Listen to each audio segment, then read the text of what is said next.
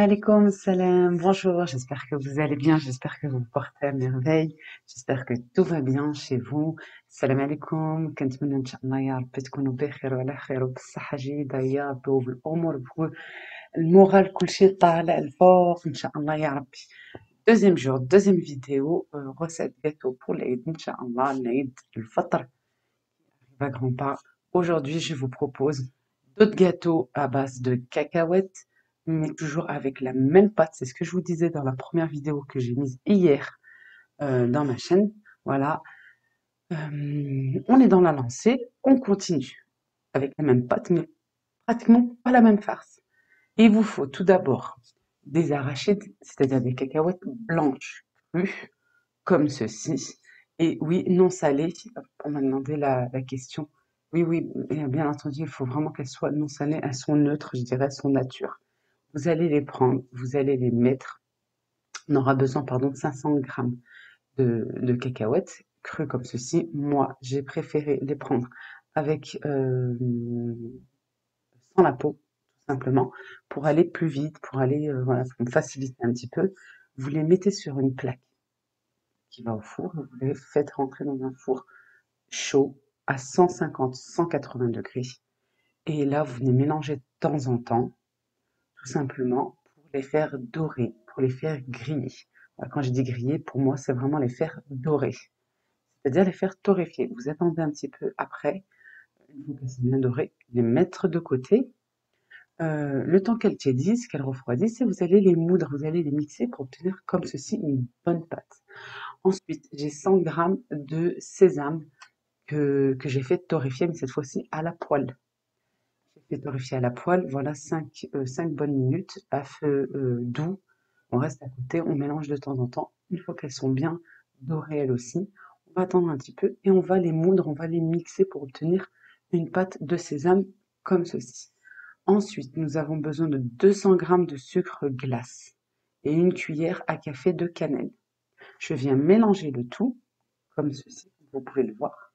Je viens bien mélanger. Je vais euh, m'apercevoir que mon mélange est assez sec, alors je vais prendre un petit peu d'eau de fleur d'oranger, tout simplement, quelques cuillères. On y va vraiment petit à petit, toujours avec un, liquide.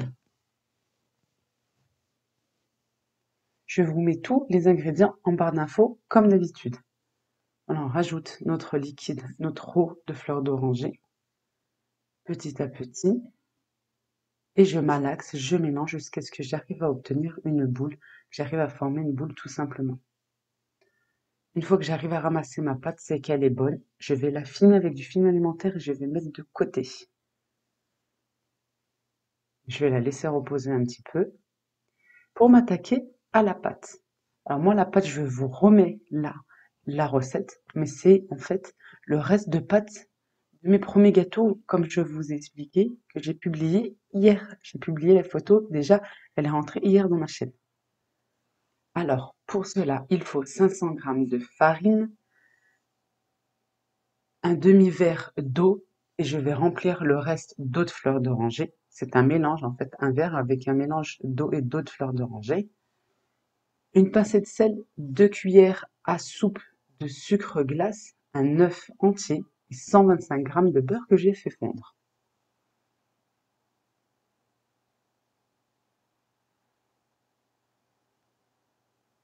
On va prendre un grand bol, une qasriya, un qassa, voilà, pour pouvoir mélanger euh, notre pâte, avoir de l'espace. Je viens verser ma farine, je viens verser tous les autres ingrédients sauf euh, l'eau de fleur d'oranger. Vous allez voir, je vais le faire vraiment euh, à la fin pour pouvoir ramasser ma pâte. Voilà, j'ai un demi-verre d'eau et je vais remplir le reste simplement avec de l'eau de fleur d'oranger. Si vous n'aimez pas l'eau de fleur d'oranger, vous pouvez mettre de l'eau simple. C'est pour vous donner un, arôme en plus, un goût en plus. Et je viens ramasser euh, ma pâte en versant petit à petit mon mélange de liquide. Vraiment petit à petit.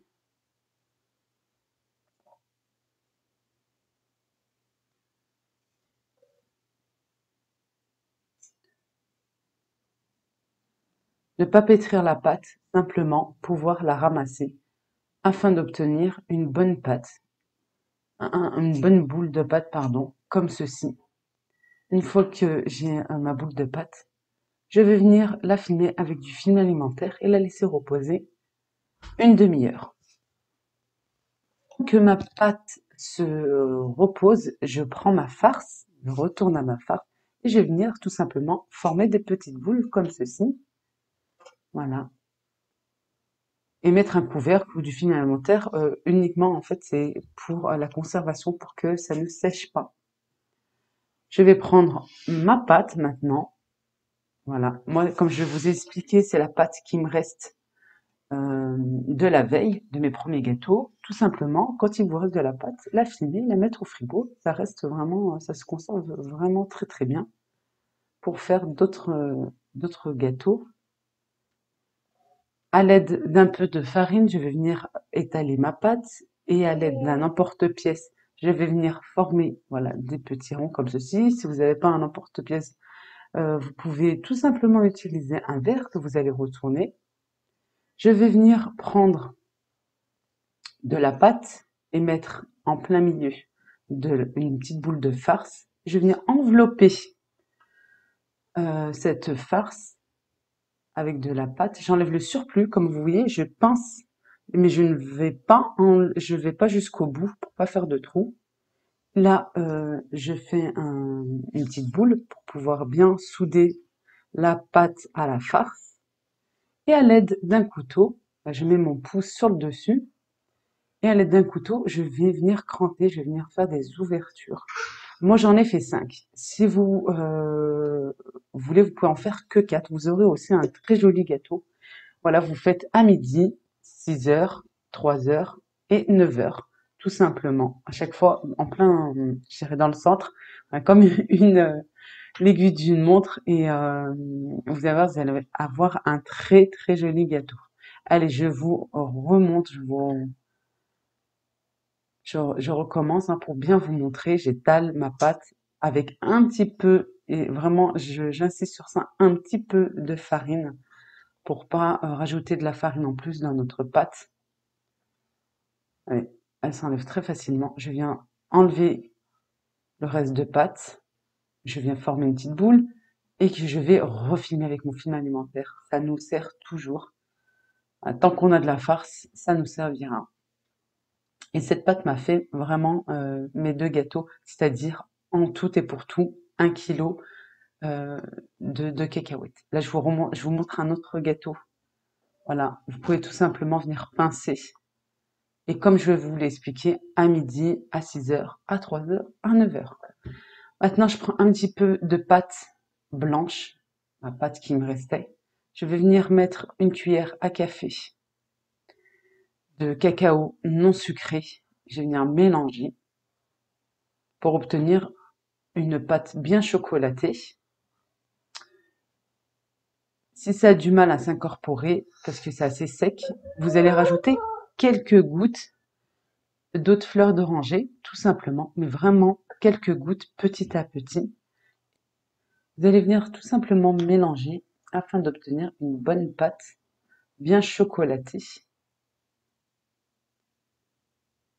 Je répète, quelques gouttes d'eau de fleur d'oranger pardon, suffiront vraiment à obtenir une bonne pâte bien chocolatée. Vous allez voir là tout de suite que j'ai étalé.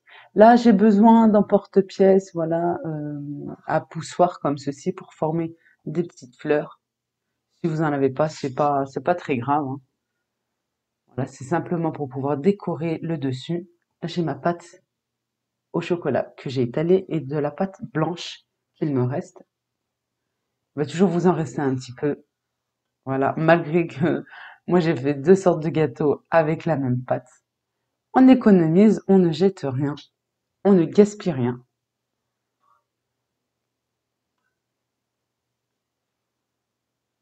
Et là, je vais venir former les petites fleurs.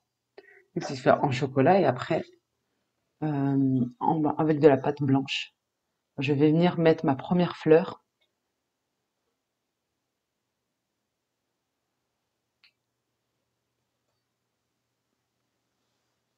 Sincèrement, c'est des, des petits emporte-pièces comme ceci, la poussoire, qui aide énormément et qui, euh, qui, je dirais, finit un gâteau, qui euh, l'accessoirise quelque part. Ça fait une jolie finition, un joli décor. Voilà, et je vais venir bien euh, enfoncer mes deux petites fleurs. J'ai superposé une fleur en chocolat et une fleur un peu plus petite avec de la pâte blanche. Et euh, tout simplement pour pouvoir euh, voilà tenir sur mon gâteau. Et à l'intérieur je pourrais mettre une petite perle en sucre.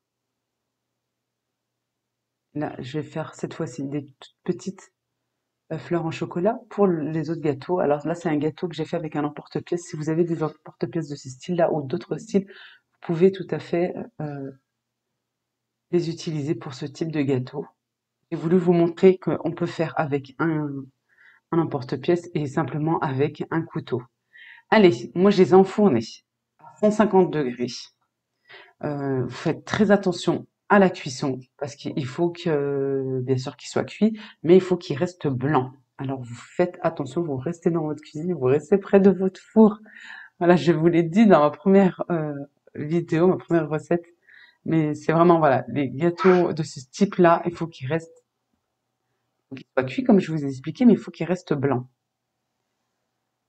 Là, j'ai du miel que j'ai fait fondre pour qu'il soit euh, bien liquide et à l'aide d'un pinceau, je viens badigeonner tout simplement le dessus. Moi, j'ai décidé de les mettre dans des petites caissettes comme ceci. Et je vais faire de même pour tous mes gâteaux.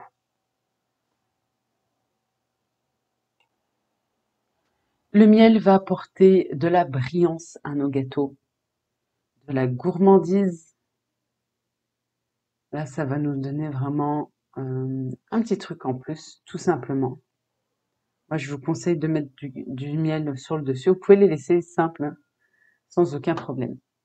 Voilà nos jolis petits gâteaux avec un couteau. Alors, on obtient vraiment des jolis euh, gâteaux en forme de fleurs comme ceci, des petites boules.